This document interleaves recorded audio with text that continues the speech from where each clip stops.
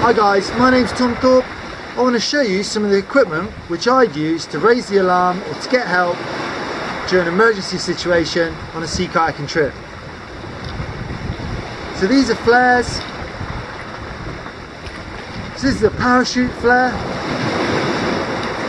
These are red lights. And this is a day and night flare. So we've got a smoke and we've got a red light. So traditional flares are great, however, they're only really useful if there are people around to see them. Parachute flare obviously goes quite high up in the air, but there's only one of them, usually, because they're quite heavy. Flares go out of date, they are full of nasty things and they're quite dangerous. It's getting increasingly difficult to get rid of them, so when they are out of date, passing them on it's usually only the big Coast Guard stations which will accept them now. And also, obviously, travelling with them is a no-no. You can't go on planes. Ferries are starting to get quite strict, and rightly so. So moving towards electronic devices. This is an electronic handheld flare. And although this is just light, it's very bright and in dim daylight conditions, it's also very relevant. So there's a few settings.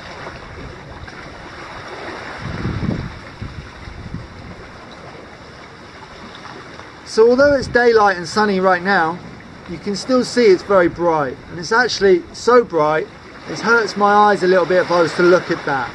Especially the, in the night time, um, it would really mess up my vision. So a great thing about this, you can actually direct the light away from you. So if I was in a kayak holding this up, it wouldn't be shining in my face. That's amazing. It's got a 10 year battery life, very waterproof, highly tested, so it's unlikely to fail, unlike some of those traditional flares which do fail from time to time.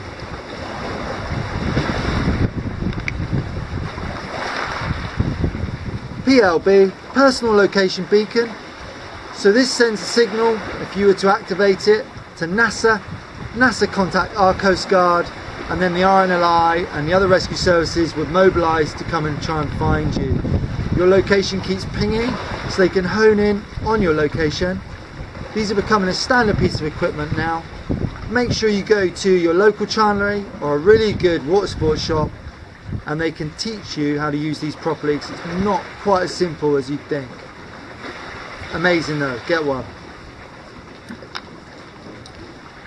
VHF. So most of us carry VHFs and that means we can communicate with our friends, um, ships and shipping lanes, lookout stations and we can also raise the alarm.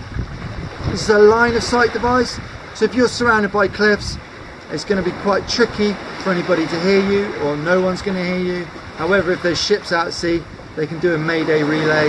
Make sure you get yourself onto a course, our RYA course you do need a license and there are particular ways to use it.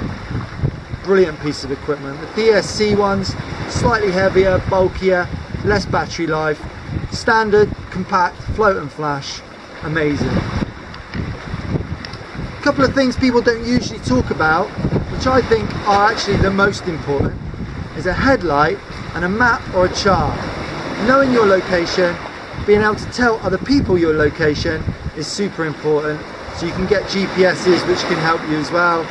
Um, mobile phone apps, mobile phones are great. Touch screens do struggle with saturated fingers, even in a case. But a headlight can shine forwards, sideways or behind you. Hands-free, high power LED. This one's got a red light as well and it's waterproof. Make sure you get yourself a decent head torch. Just because there's all this gear to keep you safe doesn't mean that you can go beyond your limits too much and push your, push your boundaries and be unsafe.